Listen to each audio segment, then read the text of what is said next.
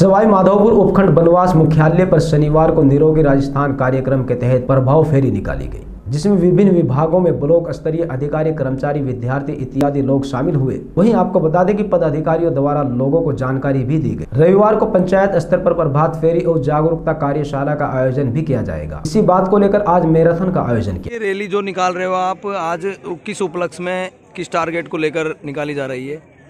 ये राज्य सरकार की एक महत्वाकांक्षी योजना जो नई लॉन्च की गई है, इसमें निरोगी राजस्थान करके ये योजना है और ये सभी जगह राजस्थान में आज ये रैलियों का आयोजन ब्लॉक स्तर पर किया जा रहा है।